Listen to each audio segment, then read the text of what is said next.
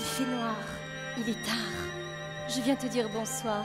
Il fait noir, il est tard. Raconte-moi une histoire. Bon, d'accord, une courte, une petite histoire.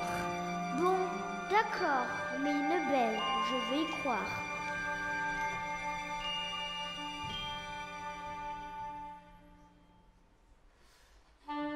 Il était une fois, dans un pays lointain, où vivaient jolie reine et valeureux roi, une jeune fille au sourire si divin qu'en la voyant, tous les oiseaux chantaient de joie.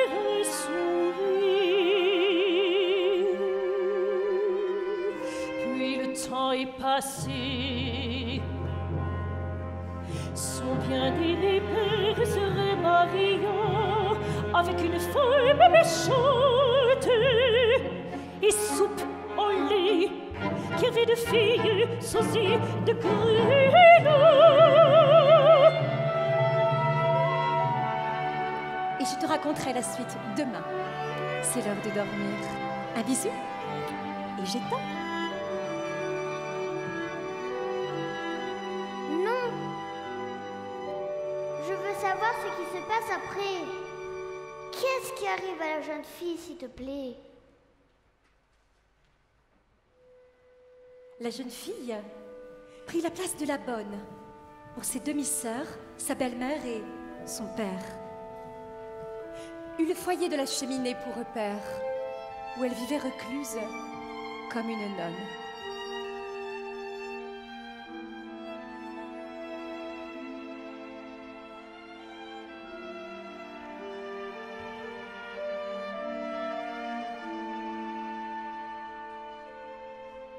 Heureusement, un grand bal fut organisé par un prince séduisant et bien né, auquel toutes les filles furent invitées, sauf notre héroïne,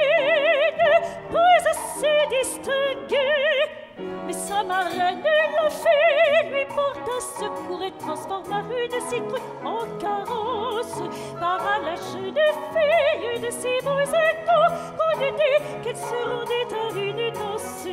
Il y avait cependant une mise en garde. Il fallait vraiment revenir au minuit, ou bien sa robe redeviendrait une horde.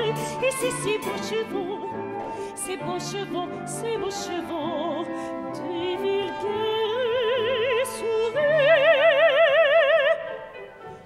palais, il brille tant que tous l'admiraient, le prince et le viteur et tout dit s'amuser, à danser, à chanter et à rire, tant et tant que le noble y fit l'avertissement.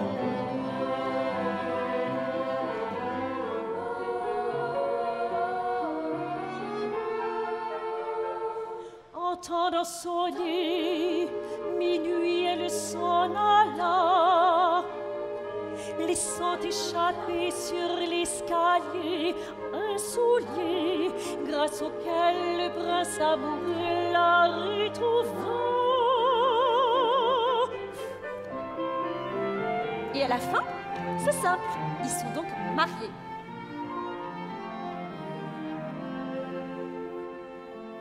Et comme c'est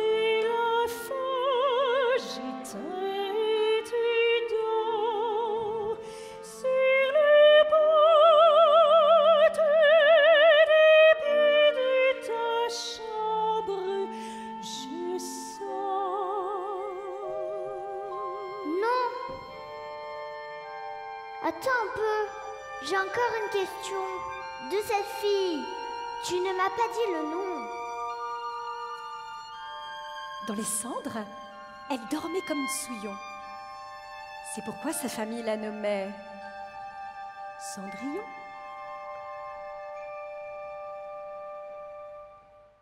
Cendry quoi? Cendrillon.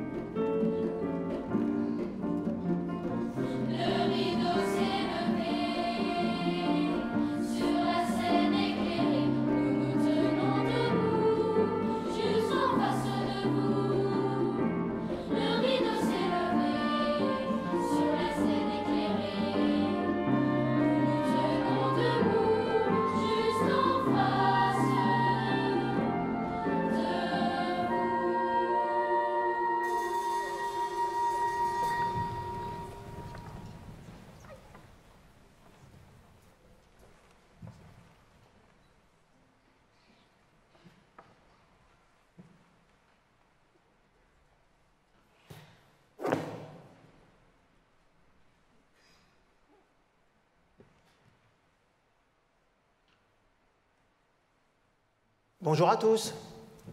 Bonjour. Vous allez bien? Oui. Oui. Qu'est-ce qu'on fait aujourd'hui? Oui, on fait quoi? On va faire quoi? Alors, aujourd'hui, Qu'est-ce qu'on fait? Qu'est-ce qu'on fait? Bah, bah, laissez-moi parler. Aujourd'hui, on va parler de Cendrillon. Cendri quoi? Cendri qui Cendri comment? Cendrillon? Vous connaissez pas Cendrillon? Euh, si. C'est-à-dire que... Non. Bah, on vous a jamais lu le conte? Vous avez jamais vu le dessin animé? Euh, si. C'est-à-dire que...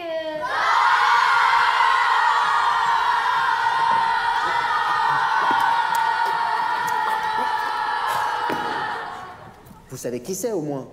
C'est pas celle mangé une pomme Mais non, ça c'est la belle au bois dormant. Ah non, je sais, c'est Blanche-Neige. Mais Blanche-Neige, c'est pas Cendrillon. C'est juste, c'est celle qui dort tout le temps. C'est juste, Auguste. Blanche-Neige, elle dort tout le temps. C'est qui Auguste? Je ne comprends du tout là. Ah mais c'est Blanche-Neige, la pomme, ça me revient. Bon, les enfants, écoutez-moi. Cendrillon, quand même. La- La jeune fille qui vivait toute seule avec son père. Comme moi Euh, oui, si tu veux. Et comme moi Et qui avait une fée pour marraine. Ah bah là, c'est pas comme moi. Moi de toute façon, je n'ai même pas de marraine, alors Et qui ensuite était maltraitée par sa belle-mère. On n'a pas le droit d'être maltraité On n'a pas le droit, mais ça arrive. C'est quoi une belle-mère? C'est la nouvelle femme de son père, comme moi. Et elle s'appelait Cendrillon parce qu'on la forçait à dormir dans la cheminée, sous la cendre. Sous la cendre Mais c'est dégoûtant Elle devait être toute sale. Oui, d'ailleurs, ses deux demi-sœurs la traitaient de souillon. Qu'est-ce qu'elle faisait sous les cendres? Je crois qu'elle triait les lentilles. Exact. Hein? Des lentilles? Eh oui. La très méchante belle-mère en jetait dans la cendre et forçait ensuite Cendrillon à les retrouver une par une. J'ai une question, moi. Oui, Elle était éteinte sur la cheminée, donc on l'appelle Cendrillon parce qu'elle dort sous les cendres. Mais c'est quoi son vrai prénom? Si ça se trouve, elle s'appelle comme moi. Ou comme moi. Ou moi. oui. Bon, euh, on va pas tous dire comme moi. C'est une drôle de fille en tout cas. Moi, j'aurais jamais accepté de dormir dans une cheminée. Je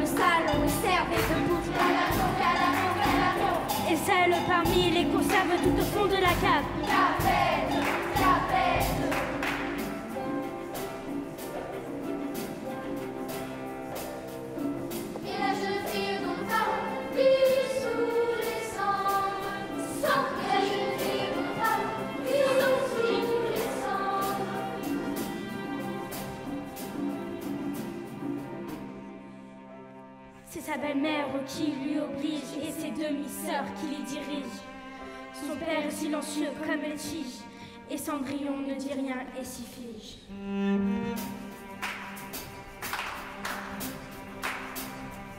Car sa mère lui a dit avant de mourir, sois toujours sage et soumise, sinon tu ne vaudras rien.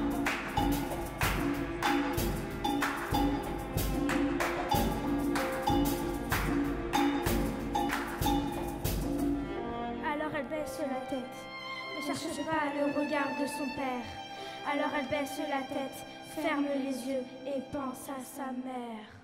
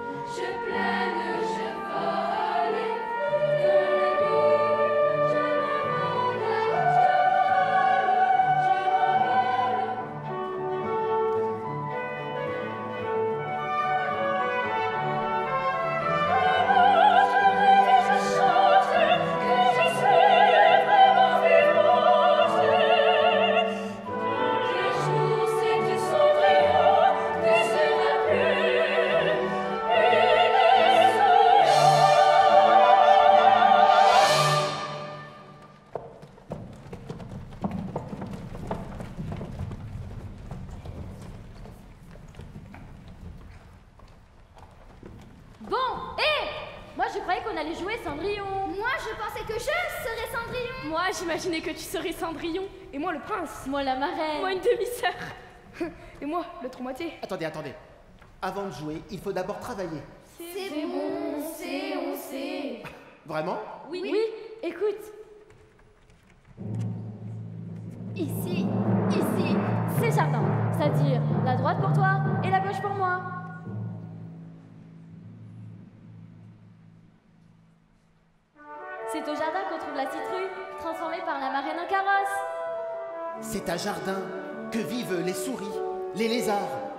devinrent par magie de magnifiques chevaux et laquais qui emmenèrent Cendrillon danser.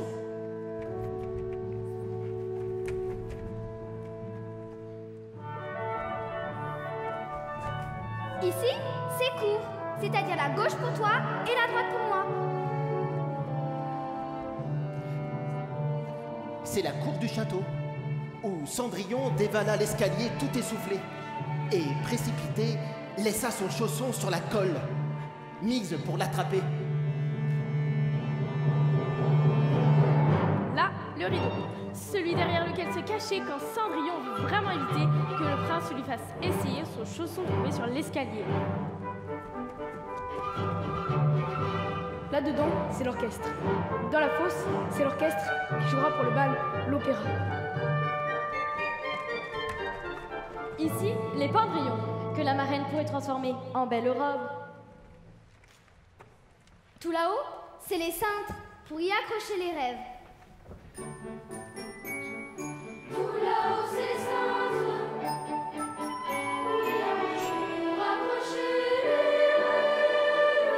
Le parterre, Les balcons, le premier, Le deuxième, les loges. la corbeille.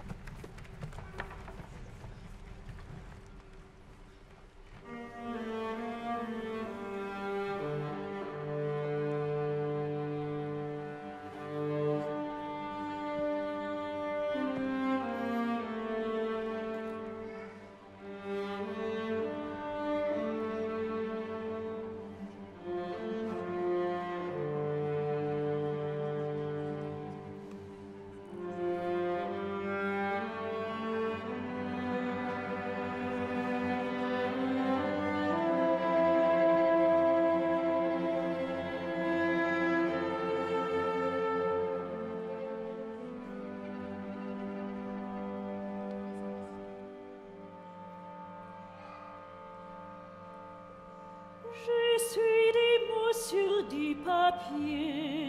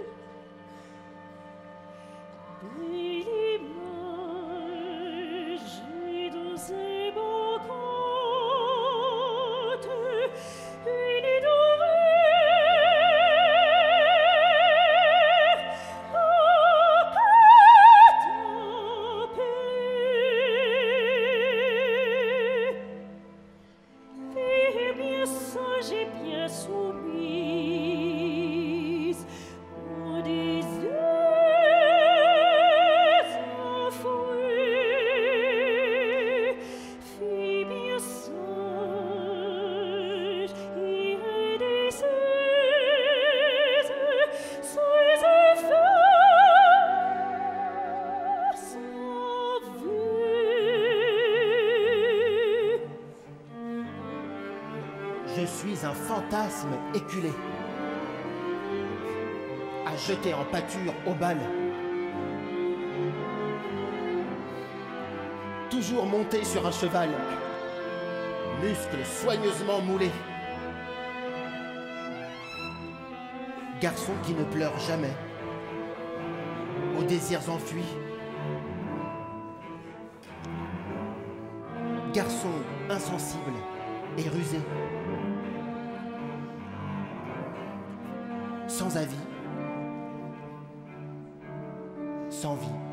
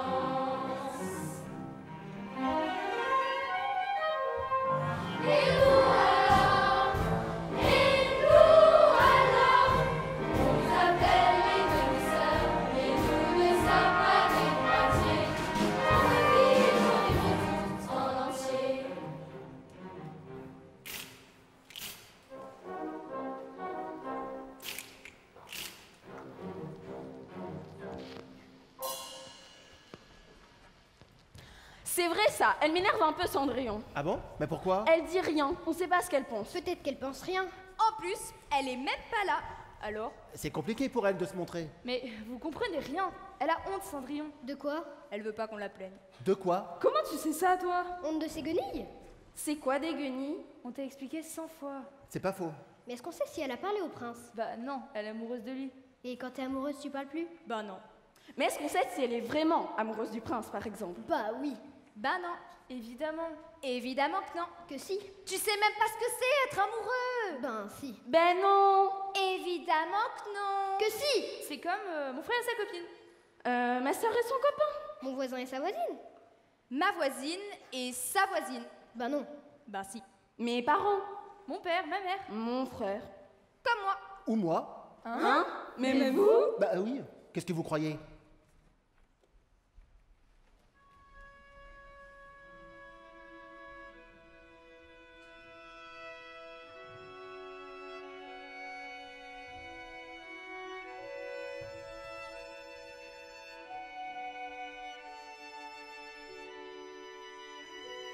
Moi, quand je ressens l'amour, le vide se fait autour. Je crois vraiment me noyer dans la terre sous mes pieds. Moi, j'ai plutôt l'impression de m'envoler dans les airs. Je n'ai plus de sensations. Je suis un serpent de mer.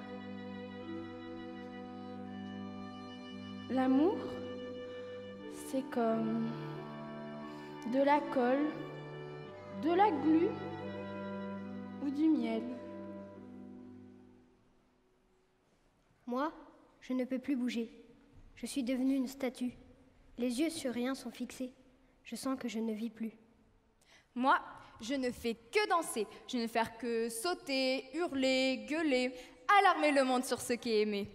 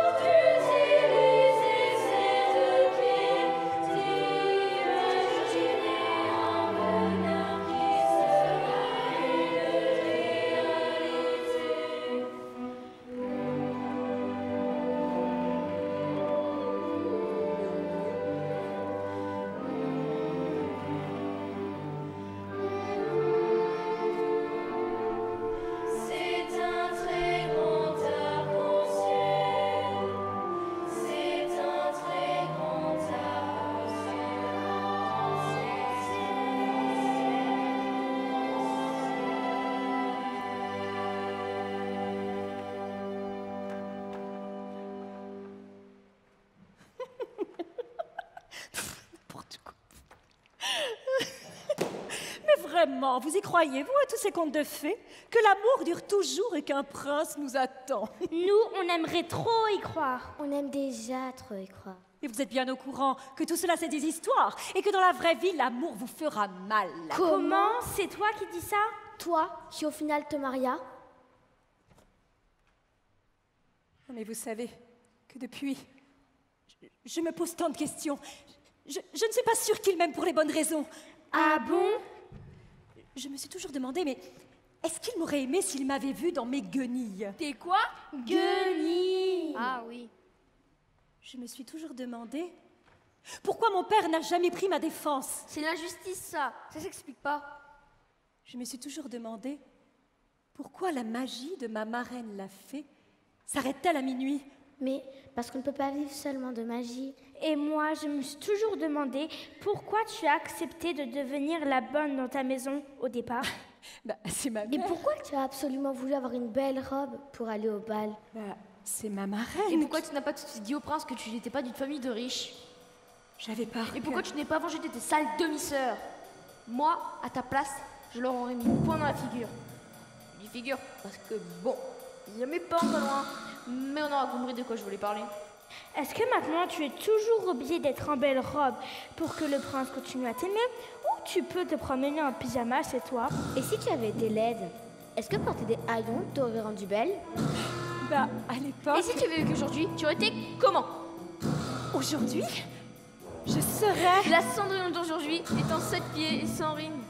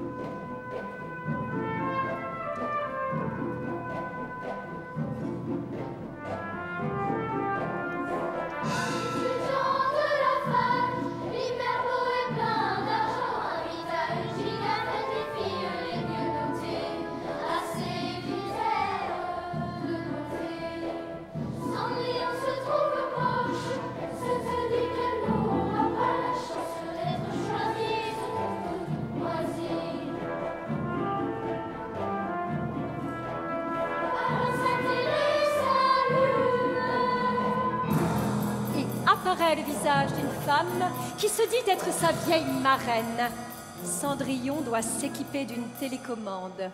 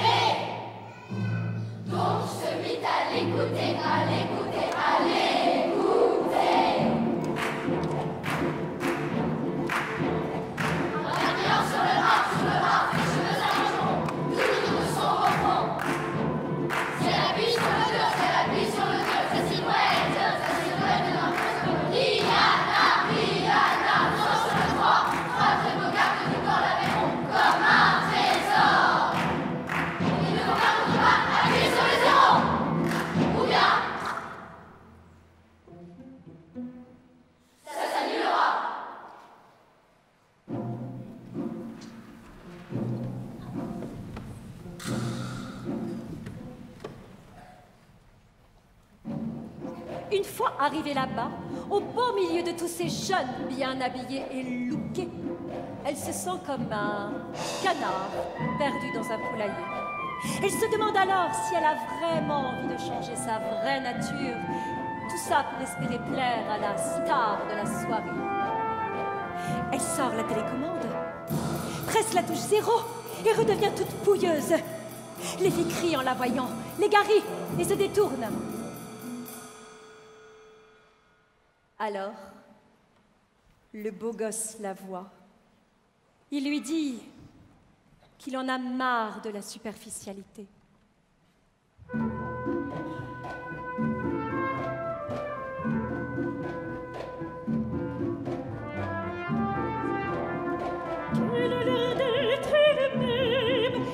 Toujours déguisé, toujours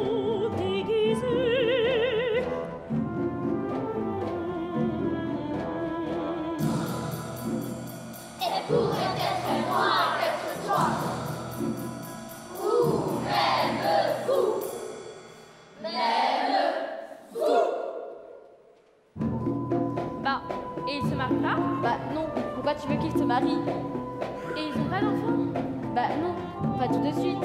Ils vont en avoir un jour? Peut-être, mais, mais ils vont être heureux quand même? peut-être, peut-être pas.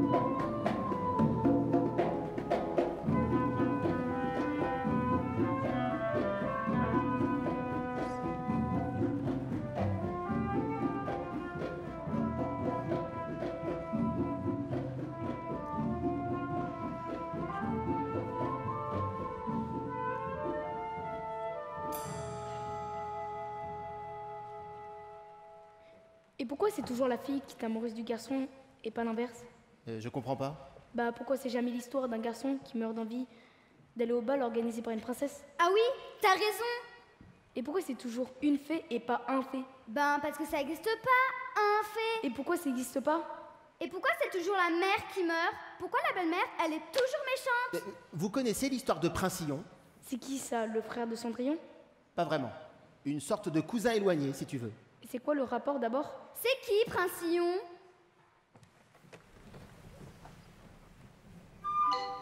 C'était un prince, pas très charmant, mais qui aimait beaucoup mettre de beaux habits. Son père était mort et il vivait tout seul avec sa mère et son beau-père. Malheureusement, il avait deux demi-frères très très charmants, mais qui n'aimaient pas bien s'habiller, parce qu'il disait qu'il n'en avait pas besoin. D'ailleurs, ils étaient tellement charmants qu'ils réussirent à convaincre leur père et leur belle-mère d'organiser un bal costumé dont le thème était Venez habillés en moche. Les amis du roi et de la reine étaient ravis et vinrent en nombre, habillés n'importe comment.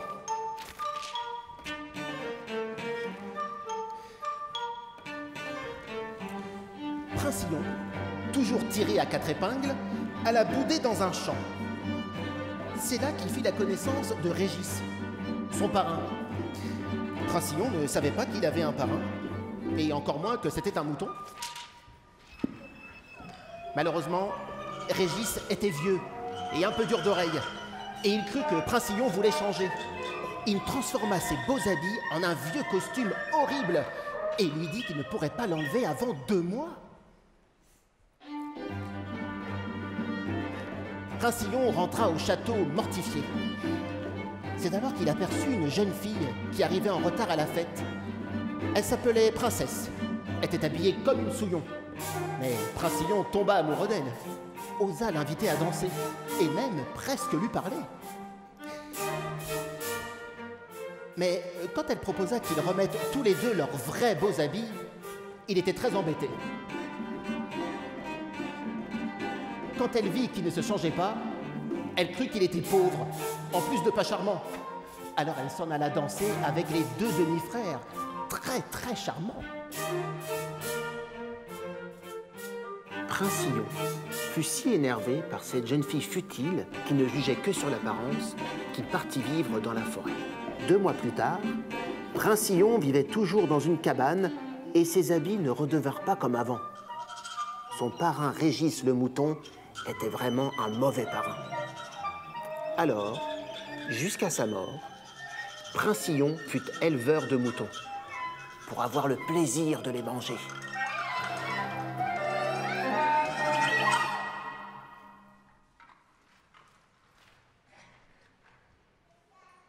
Et la jeune fille? Elle ne se maria jamais, car personne ne lui plaisait.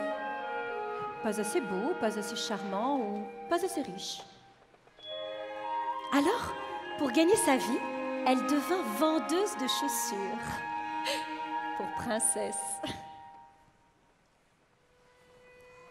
Vendeuse de chaussures pour princesse.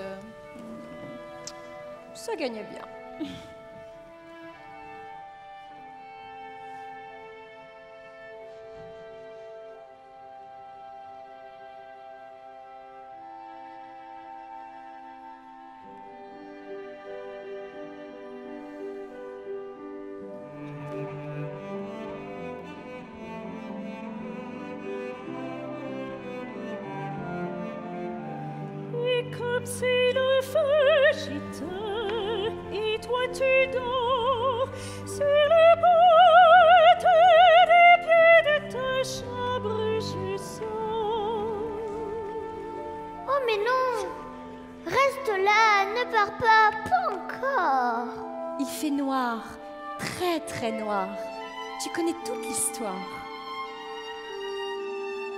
suis pas assez...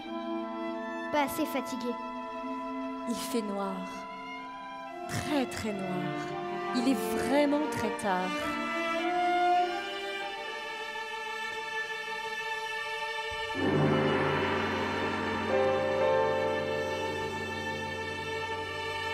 J'ai comme l'impression d'avoir rêvé ta vie.